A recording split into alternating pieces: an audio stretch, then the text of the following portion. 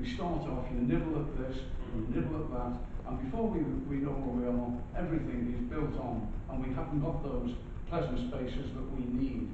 So I, I do hope that as the inspector, you will, when you visit the site, you will have a look and you will appreciate what the points that the gentleman has made and I have made. Oh, well, I will do that, sir. Go ahead. Can I just, uh, it's, it's, the point's have already been made, but I don't think it's been made strong enough. The, existing, uh, what's there is not really visible from the road. It just looks like a nice green area, you can see the woods in the background, you've been there yourself, you must have seen it. Uh, the, the paddock, and it's barely noticeable what's there at the moment. If this is done, it will totally change the outlook of that, of that green space. Uh, and it is right, you've got, uh, is it Mount Road or Sutton Road? Similar. Uh, on one side, you accept it's residential, and the other side, lovely countryside, nice views, uh, etc. So it's, it's going to totally, as, as just as a resident, uh, I'm saying that, it will totally destroy that. Factory has field, so, so, so factory field, there's no part of Stockport, so there's no part of the field. But it's If still that green. field was, sorry, if that field was to be left and developed and just left as a piece of land, what on earth would happen to it? What would it look like? It, nobody, nobody has the right to agree, it's not there.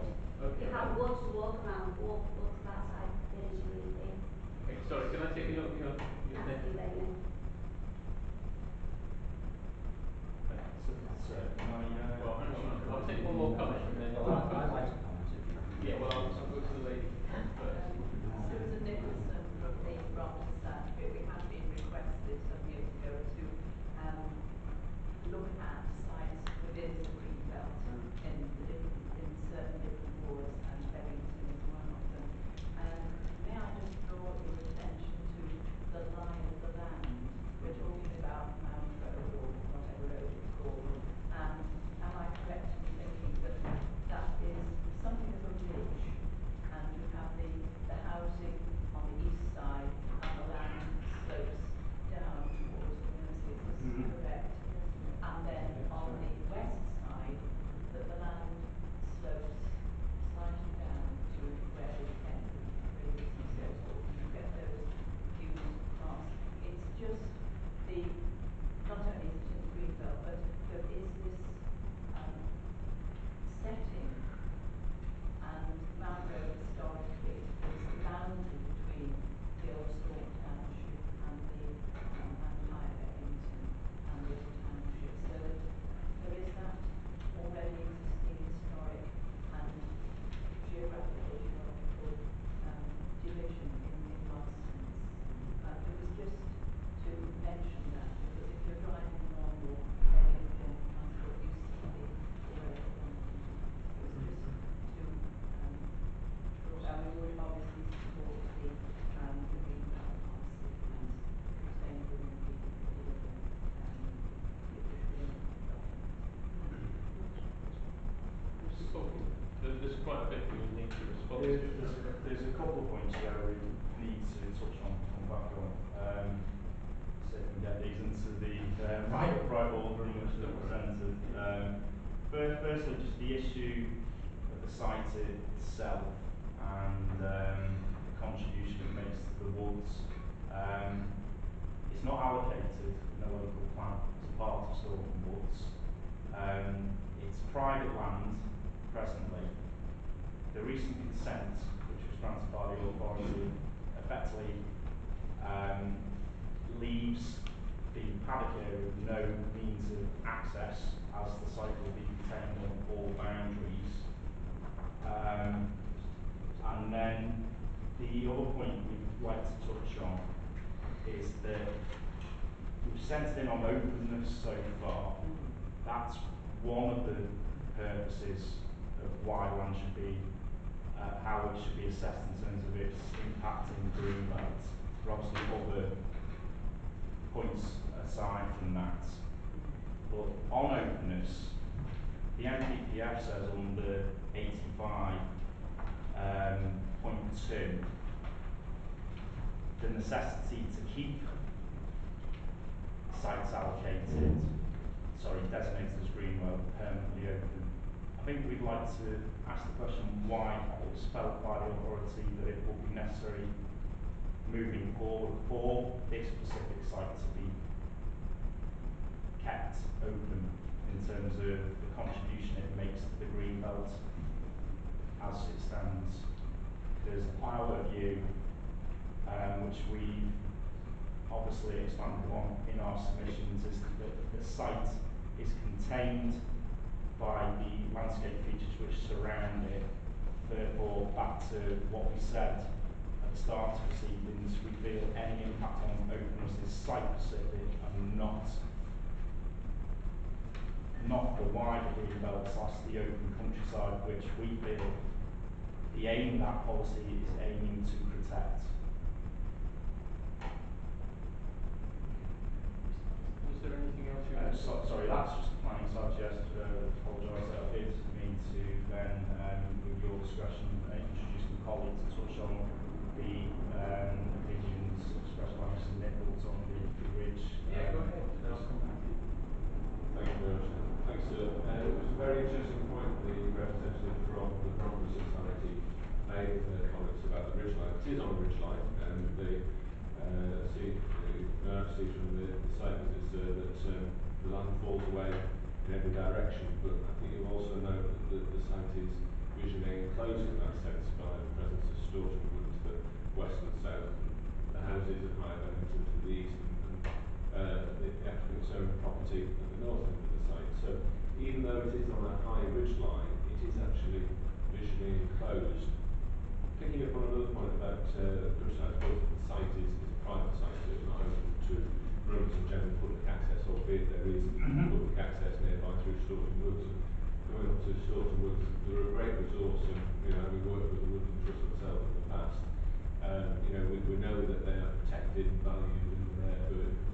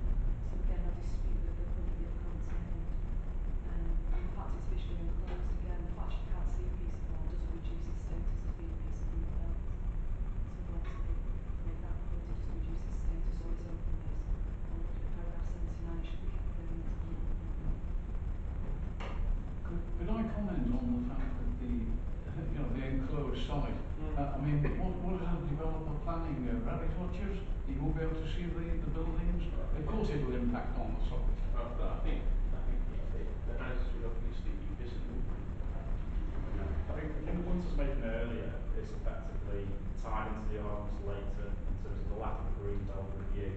And it is fundamental to this application because what we were trying to identify is that if that exercise was to take place, it is the opinion of the that that land will no longer be included in the green belt. It serves no purpose for being included within the green belt.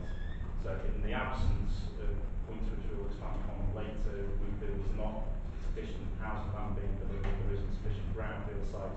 The council seriously has to look at sites of this nature, in order to continue to meet evolving supply which caters for demand and population growth over the next five years. Well, Could, could I, could I just make a comment there? White open areas. Uh, I'd just like to contest that there are, there are plenty of brownfield, uh, brownfield sites, uh, throughout the area of Birkenhead. by the- Uh, can also ask, um, nobody's asked the question, uh, what part does profit play in this?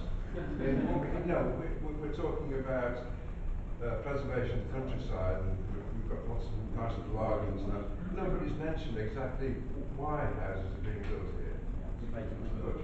Well, is, it, is there anything, is there anything wrong? Our whole economy is based on making money. Well, I I think the issue then you have to take in uh, fauna and wildlife and the greenbelt and the intrusion is a constant Yeah. creeping problem that we've had there over a period of years. I would like to speak now to, you know, to, I'll do it all in one go and mention all the various concerns. that- Okay, well, I would say that they're, in terms of profit, and, and so I hear that argument quite often. Um, certainly in this, this kind of case where people want to put houses on, green fields, given when people want to do all sorts of things, but our whole, our whole sort of economic system is predicated on enterprise and people making money. Whether you like that or not, you might find that, um, the right way forward politically, you might think politically it's not the right way forward, but from whichever direction you come at it from, what the government do other issues to emphasise. is they say this is the way, this is the way forward. So, um, much as tempting as it might be sometimes to say, well, look, you know, this isn't the right way, um, that's not something I can really do. I have to work within the format the government gives me to work with. So it's not for me to question the sort of underlying principles of economic growth or um, sustainable development, so, so as far as it's defined. Um, so I have, I have to, I have to make, say that, or make that point now, but did you, did you want to speak now? Yeah, and then- I'll, I'll, I'll do all my, mine in one go and then get rid get through my, my various comments. Um, uh, so that, so the issue is in the rural area still high Bebington is area in constant threat by air and sprawl. As the councillor here for sixteen years, my knowledge of this area is second to none, as I've been running the area for thirty-two years, on average thirty miles a week. I've seen the area suffering due to inappropriate developments, some allowed by the planning systems and some invasive developments thrown out by the council, but allowed by the planning inspectors and the great damage caused. Uh, in some instances, little consideration is given to wildlife fauna and the extra traffic has been allowed into secluded areas, which is, in my opinion, has caused more flight in the area, which is a particular concern at this moment of time. Um, I have to comment, uh, considering the exceptional strong planning objections proposal, I thought this application would have been thrown out by the planning inspectors in the first place. Well, We wouldn't be here today. Well, I have to, I Um, have to but stop there. Yeah, well, We- so I if have we get- that comment. Yeah, that's we my get an appeal, opinion. if we get an appeal, we have to deal with it. There- There's no sifting process. Okay. Some would say there might be, it might be a good idea, um, Uh, others Just would allow say, me to well, finish, please, Mr. Chairman. Yes. Yeah, no, I appreciate, I appreciate that, yeah. Okay. Um, but anyway, a strong community spirit exists community associations. The constant drip drip of developments and invasion creates challenges in, and anxiety, and anxieties for not only constituents in the rural area, but the people of Bebington and beyond. The impact of this development within the existing no boundary walls of Storeton Woods, as I've already mentioned, creates a wedge, and I've already mentioned that, into the greenbelt. In all my long years as a councillor for Bebington, I've he- heavily criticised our highways not objecting on traffic grounds to a number of planning applications here. They have never objected to any of the other of the planning applications I can remember over sixteen years in my office in Bebington, but they're objecting to this one. This site is so contentious from a highway standpoint, they're, they're object, yes, I said they're objecting. The reason for the objections are already detailed, not mentioned is the considerable, considerable traffic in Marsh Lane by the large numbers of using stormwater for recreation and dog walking. but at times when the woods are very, very busy, and even at 6am in the morning when I'm running, uh, there, are significant, there is significant traffic here. There are numerous planning reasons why this application is inappropriate, is inappropriate development. And uh, as an elected representative who listens to his constituents, and with my own eyes open to, I recommend objections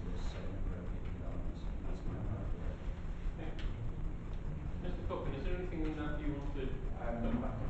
Just, just a couple of points really. I think, I think first of all, as I said earlier, in terms of the land allocation of the site, it's Greenbelt and Greenbelt alone. It is not part of Solomon and Water. It is private land owned by Mrs Smith and it is landlocked with no immediate access to members of the public. Um, the other point I want to just touch on is this issue of inappropriate development. Now, we're not, we're not one minute contesting the, the phraseology of inappropriate development. But inappropriate development does not mean that the planning permission cannot be granted. That's correct. It effectively, I don't mean to educate you, sir, yeah. just, well. Mr. Mr. Williams has found, Councillor Williams has found it. Um, it just means a series of tests that then invoke for us to demonstrate to you as to why planning can be granted, i.e. very special circumstances, which we'll no doubt get into later. was you wanted to say? No. Um, I think um,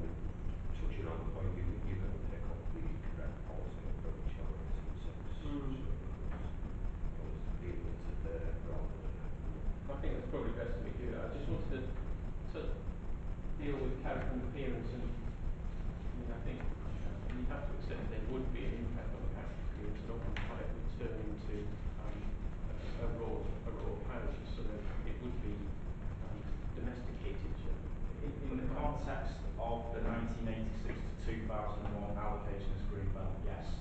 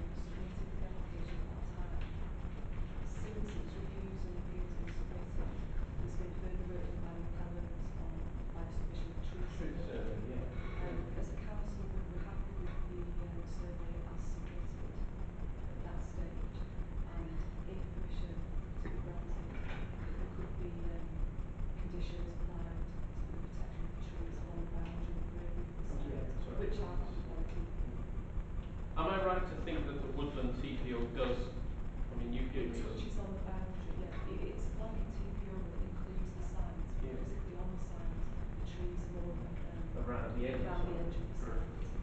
Okay, well, if you're, if you're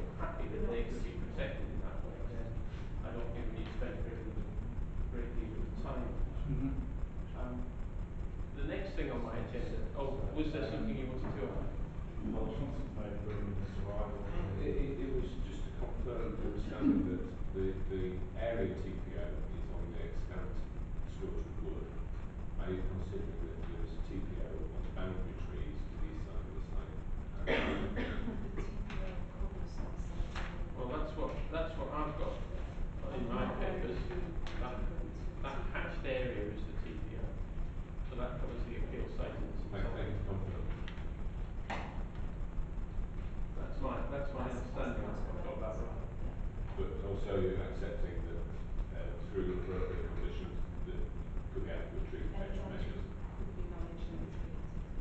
so, uh, and so procedurally, um, the application was validated without a tree survey. Mm-hmm. We maintained dialogue through the process and no longer we were asked to provide one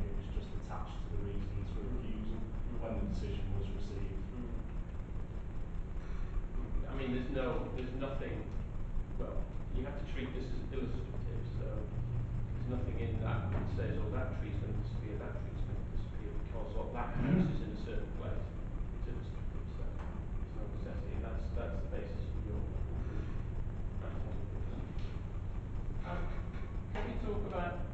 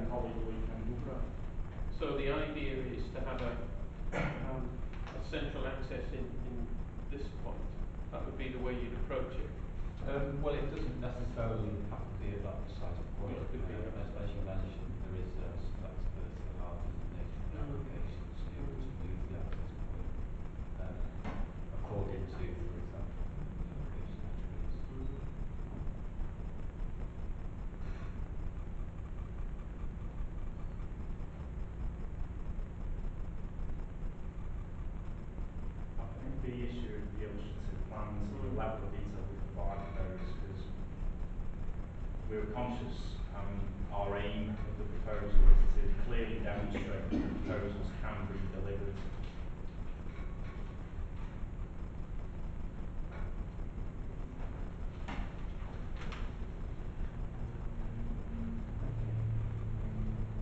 So as I'm understanding this though, wh- wherever the access point was placed on Mount Road, along the site frontage, you would need to pull the existing wall back in order to provide visibility splays? That's what Correct. shown here, Yes, um, So the wall is curved in and then run back to a bell mouth and then the yeah, I mean, I mean, the, the wall would effectively be taken down and rebuilt behind the visibility splays to some extent. I think just expanding on Mr. Campbell's point, um, it's a point we've made in our evidence. The, the wall is not listed, it does not fall within an area allocated as a conservation area. So consequentially, there is no control from the authority side preventing the applicant from, in the present moment, taking the wall down and rebuilding it as it stands today.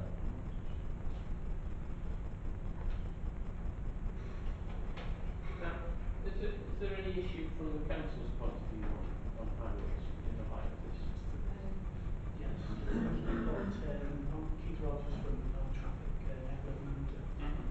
Um, I mean, bearing in mind this, as you say, is an illustrative plan, and it's all we've got to, issues in terms of the layout of the site, and lack of suitable turning facilities within the site for service vehicles. Um, the visibility splays that are shown on drawing 2.4 by 45 the 80 percentile speed of traffic on that road is 37, 38 miles an hour. So that requires a limited displays of um, 2.4 That using manual streets. Yeah. Um, the primary issue that, that that I've got with it is the lack of a safe crossing point for pedestrians and for residents who, who move into these houses if they're constructed. But there's no pavement on There's no pavement, No. uh, it's, um, as I say, the eighty-fifth percentile speed is, is relatively. The, uh, traffic flows along there during peak is fifty hundred vehicles per hour. Um, so it creates quite, it would, it would create quite a, a difficulty for residents getting access to local amenities, uh, shops, schools, this sort of thing. They are identified as family houses, so it's reasonable to assume that there will be parents with um, children with prams, or there will be children um, unaccompanied going to school, this sort of thing. Um, so ideally, a pedestrian refuge uh, there's nothing proposed at the moment, but ideally a pedestrian refuge would resolve that issue.